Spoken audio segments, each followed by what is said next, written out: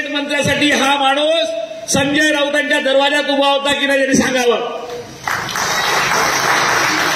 ज्या माणसाला कॅबिनेट मंत्रीपद संजय राऊतांच्या शिफारसीमुळे शिफारसीमध्ये मिळालं त्यांनी सांगावं की संजय राऊतामुळे पक्षाची वाट लागली.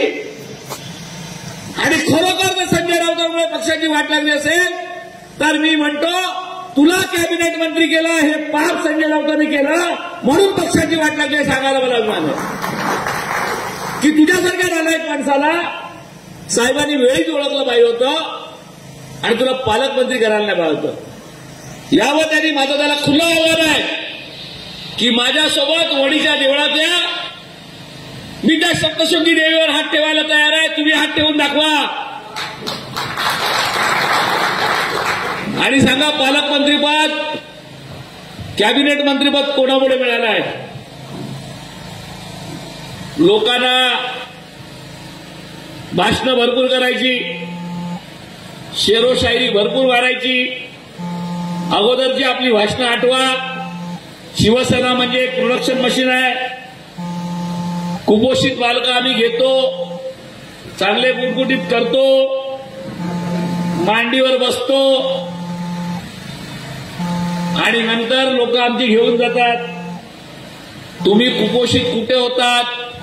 कुठल्या मोखाड्यामध्ये तुमचा जन्म झाला? मध्ये त्याला गुटगुटीत केला. आणि गुडगुटीत केल्यानंतर हे प्रोडक्शन रेडीमेड कंपनी कसे घेतलं?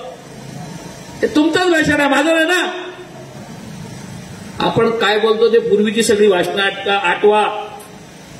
डोकं कोणाचं? हात कोणाचे? धड कोणाचं पाय कोणाचं अशी सरकारची अवस्था होती. मग आज तुमचं डोकं राहिलं कुठे? तुमचं धड गेलं कुठे? अरे धड तुम्हाला संध्याकाळी सातच्या नंतर चालता येत नाही. तुम्ही धडाच्या गोष्टी कसल्या करताय?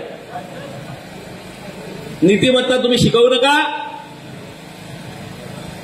तुम्ही कोणाशी आयुष्यात प्रामाणिक राहू शकत नाही. आणि प्रामाणिकपणाचे धडे तुम्ही लोकांना देऊ नका जर तुम्हाला प्रामाणिकपणाचा धडा घ्यायचा आहे मी अभिमानाने सांगेन या व्यासपीठावर या जिल्ह्यातले या ग्रामीण मधले दोन कार्यकर्ते बसलेत एक निलेश चौधरी आणि गुलाबराव वाघ. यांनी शिवसेनेला दिलेला आहे शिवसेनेकडनं काही घेतलेलं नाही. यांनी संघटनेला द्यायला शिकलेले आहेत. अहो तुमच्याकडे द्यायचं द्यायला काय होतं कुठे? तुम्हीच सांगितलं. की माझ्याकडे काय नव्हतं? मग आजपर्यंत जे कमवलं ते ओरबाडून कमवलं तुम्ही द्यायची तर तुमच्याकडे नाही रमेश आबानी तर जिथे जिथे संधी मिळाली आहे तिथे तिथे याला अजिबात सोडणार नाही. रमेश आबा तर त्याला सोडायचं काम कमी करत नाही पण नुसतं आपण भाषण करून जोडून त्याला चालणार नाही. चीड आपल्या निर्माण मनात निर्माण व्हायला पाहिजे. आणि या जळगाव ग्रामीणमध्ये मी तर सर्व जिल्हा परिषदेच्या गटाचे मेळावे घेऊन जसं रमेश सूचना केली प्रत्येक गटाची जबाबदारी कोणाकोणाकडे देणार आहे.